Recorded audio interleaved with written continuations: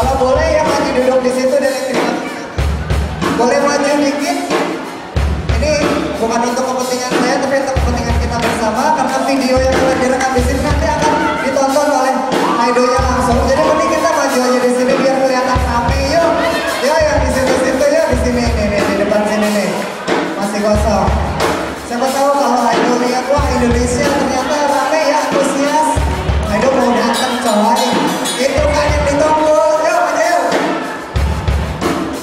parabéns